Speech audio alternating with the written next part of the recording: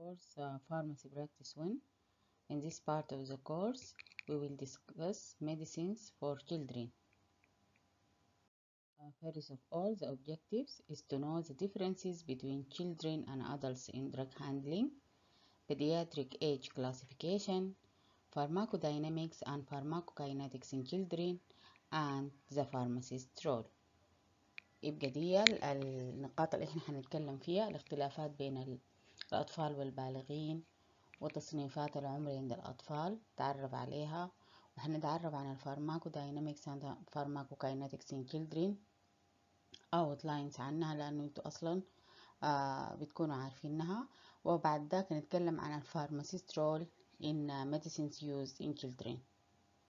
Proportion in health primary and secondary care settings. آه غالبية أو نسبة واضحة آه من المترددين على النظام الصحي هم من الأطفال. So providing care to children can be one of the most challenging aspects of pharmacy practice.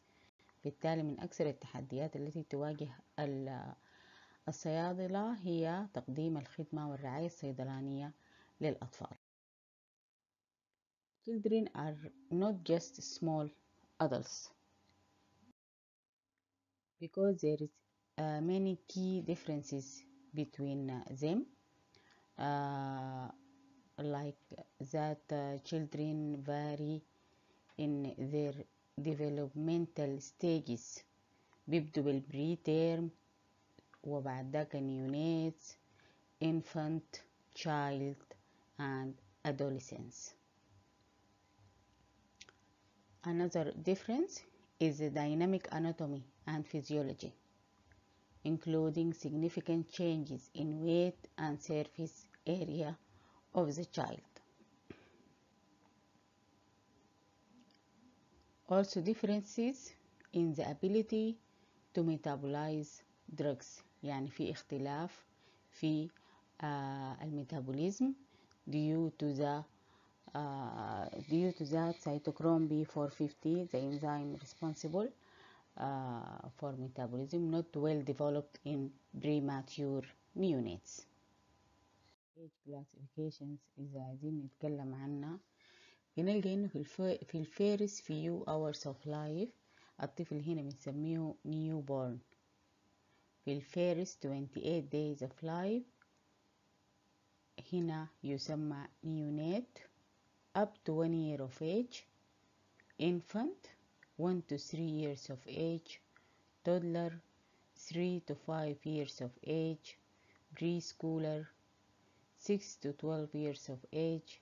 This is the school age and the period between the end of childhood and beginning of puberty and adulthood that means 18 years of age this is called adolescent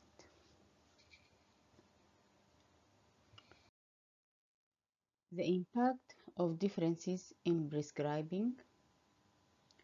The child require more dose calculations when there is a prescription written for a child due to the dose variation depending on age and weight. Also, doses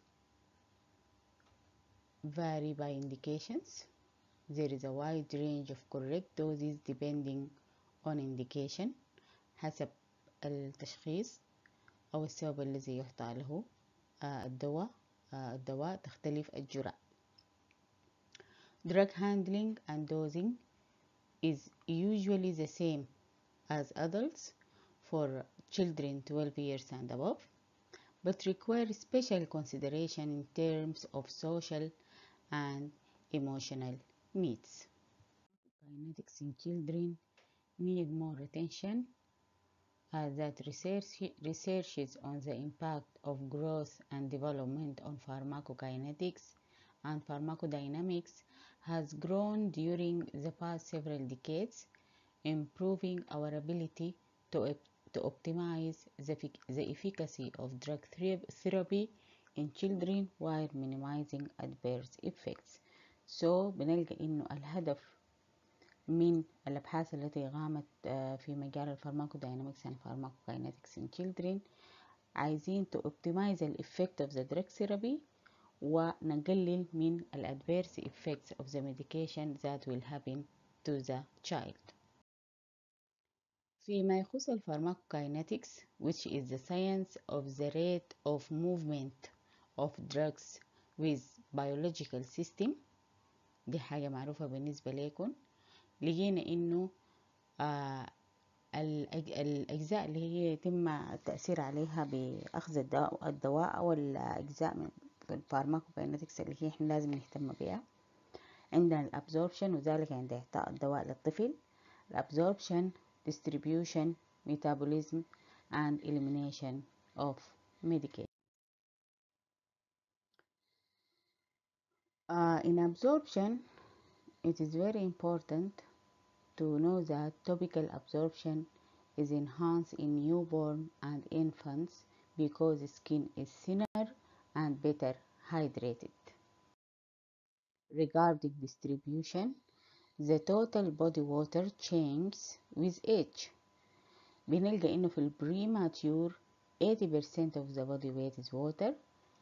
In newborn 70% of body, body weight is water. في a child 60 to 65% of body weight, weight is water.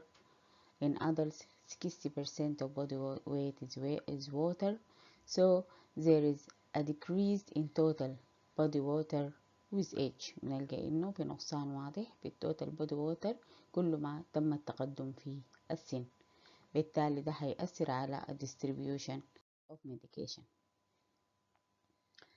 Uh, metabolism in pediatrics in premature and newborn infants metabol metabolize drugs very slowly than adults. الميتابوليزم في البريماتيور والنيوبورن بتكون very slow than in adults زي ما اتكلمنا قلنا due to the uh, deficiency of the uh, cytochrome B450 enzymes which is responsible for metabolism of medications.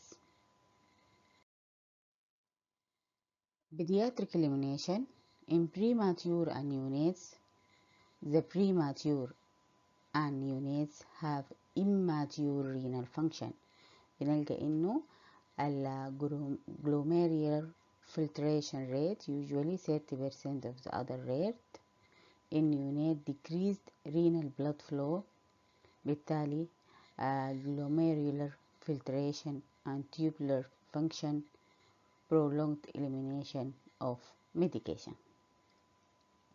Thus, doses should be decreased accordingly uh, في البediatric than in the adults.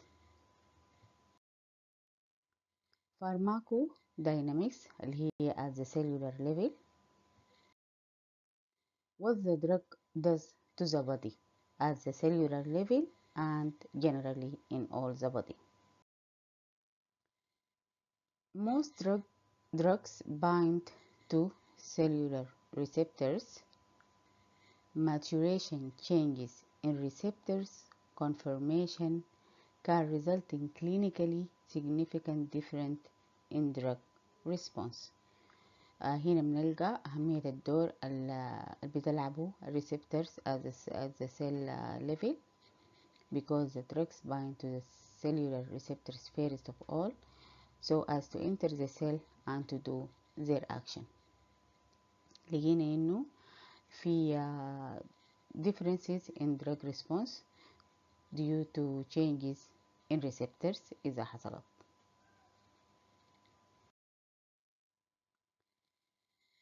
uh, a dose response relationship increasing dose may increase the therapeutic response and also increase the risk of toxicity so slower doses escalation now recommended for pediatric patients إحنا كل ما زدنا الجرعة بنتوقع إنه زيادة الأثر العلاجي لكن في نفس الوقت يمكن يكون في risk of toxicity. So آه التدرج في زيادة الدوز أو البطء في في في تدرج في زيادة الدوز مطلوب جدا. uh, so that not to آه، نعرض الطفل للريسك of toxicity. Recommended. For a critically ill infant or child what shall we do? The important point is to be sure that there is selection for appropriate drugs selection for appropriate dose selection for appropriate formulation and route of administration monitor efficacy and toxicity of the medication and the, the very important point is pharmacogenetics that will play a larger role in the future of uh, pharmacy in clinical practice uh, جينا بعد كده ل role of the pharmacist regarding dispensing uh, and counseling uh, of medication developing and providing high quality medicines information to other healthcare professionals ده من الرولز المهمة جدا للفارماسيست انه to provide medicine information to healthcare professionals and others advising on clinically uh, appropriate safe and cost effective use of medicines الادفايس بتتناول الكلينيكال aspect of the medication والسيفتي والكوست effectiveness also the pharmacist عنده رول في البحوث الصيدلانية والبحوث في مجالات الدواء آه هنا في آه example عن الانتبيوتكس for children uh, generally most childhood infections are caused by viruses antibiotic only treat illnesses caused by bacteria not viruses دي حاجة إحنا متفقين عليها so if the child is prescribed antibiotics for a bacterial infection they may seem better after two or three days but it's important to always finish the whole course to make sure all the bacteria are killed off دي من من بديهيات الادفايس والconsultation للantibiotics for children also if the child don't finish the whole course the infection is more likely to come back it also increases the risk of the bacteria becoming resistant to antibiotic ده الضرر الثاني antibiotics work best if they are given at regular intervals giving them to the child at the same times each day أخذ الساعة كل 8 ساعات يتحسب كل 8 ساعات بالضبط ويتاخد فيها antibiotic. So to avoid uh, resistant and the infection will not come back to the child. Another example is paracetamol and ibuprofen for babies and children. Paracetamol and ibuprofen are safe for treating pain and fever in babies and children. Both are available as liquid medicines for young children. بنلقى انه في الصيدلية بنلقاهم متوفرين البريستامول والايبروفين في شكل سيربس Dose calculations is very essential regarding paracetamol and ibuprofen. Paracetamol can be given to child or to the children aged 2 months or older for pain or fever, while ibuprofen can be given to children who are aged 3 months or older and who weight or their weight is more than 5 kilograms. The important notes regarding paracetamol uh, and ibuprofen in babies and children. General advice to the families that the pharmacist can give during the counseling in community pharmacy. Always check the expiry date. Never give the child medicines that have been bought or prescribed for someone else. طفلين في البيت آه آه ده أخذ الدواء بجرعة وانديكيشن محدد ما من المفترض إنه نديه للطفل الآخر always keep medicines out of child reach and out of sight يستحب إنه يكون في صيدلية منزلية أو دولاب مخصص لوضع الأدوية the reach of children. Storing the medicines. Some needs to be kept in the fridge or out uh, of uh, direct sunlight. نخلي بالنا من التخزين. آه ما يجب وضعه في في الثلاجة يجب أن نأخذه في آه يوضع فيها. ودي من النصائح المهمة جدا في مجال الأدوية after dispensing to be given to the family or parents of uh, the child بكده بنكون خلصنا السيشن الأول اللي فيه general idea about medication use in children and the second session we will go further in uh, medication administration in children. Thank you very much.